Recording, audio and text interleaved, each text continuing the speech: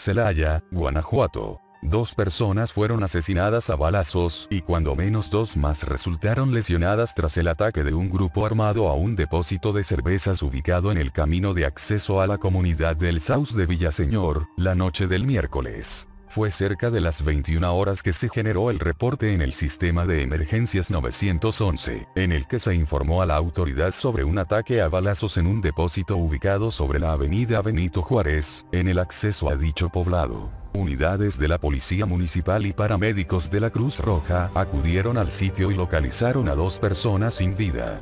Al momento de verificar sus signos vitales, se percataron que ya habían fallecido. Tras el ataque cuando menos dos personas resultaron lesionadas, mismas que fueron trasladadas a un hospital por sus propios medios antes de que llegaran las autoridades al lugar de los hechos. Elementos policiales y de la Guardia Nacional resguardaron la zona de los hechos, donde se localizaron múltiples casquillos de arma larga, mientras que agentes de investigación criminal se encargaron de llevar a cabo las averiguaciones correspondientes para tratar de dar con los responsables.